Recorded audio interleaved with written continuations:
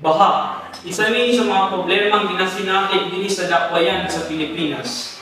Ganong nakasinakit taani o kung sa ang dapat natong sa panahon sa pagbaha. During rainy season, digit na iwasan na makasinakit ta o kusog ng pag-ulan na mo resulta kini sa pagpaspas na pagtaas sa tubig na maka-overflow sa mga waterways.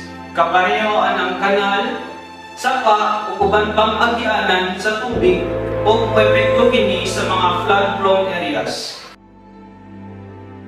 Maka-experience kita o pagbaha oras na mahuman ang walay undang na pag-ulan, baradong kanal o sapa tungod sa mga basura, bato o uban pang mga materyales na makabara.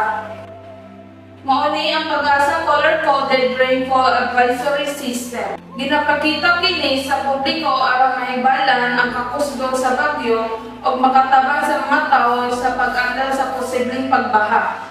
Yellow rainfall. Mao kini ang naanay posibleng pagbaha ng hitabo. Orange rainfall. I-evacuate na ang mga tao tungod kay gapadayon na nataas ang baha. Red rainfall, which expected na ang pagbaha na mahitabo sa mga low-lying area.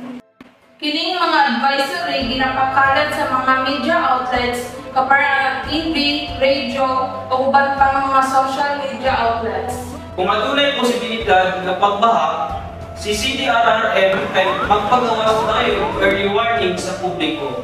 CDRRM o pinatawag na City Disaster Risk Reduction Management is a lead agency na nag-monitor sa water level sa usa ka.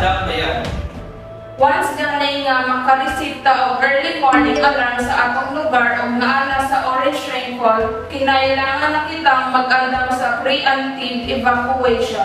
Ang preemptive evacuation kay usa ka importanteng proseso kung adunay pagbaha. Ginapabakwit ang tanan aron masiguro na di sila matrap sa baha na pwedeng resulta sa kamatayan.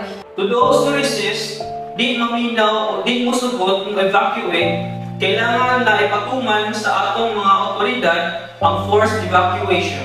Ibig sabihin ani, pugson na sa atong mga otoridad ang mga kahit ulo ug dalon sila sa safe lugar. Importante kini kay dili lang para sa mga tao apektado sa baha ang kailangan protektahan. Importante sa ang kinabuhi sa atong mga rescuers. Kini ang sulod sa tong go bag o 72 hours kit. So, first, we need a bottle of water. Second, dry clothes. Third, emergency kit or what? Hygiene kit. Fourth, um, signal devices or phone or whistle. And you need to secure the documents. Lastly, flashlight. Sa panahon sa pagbaha, kinailangan na ang kita. Tandaan, ang listo ay laging listo.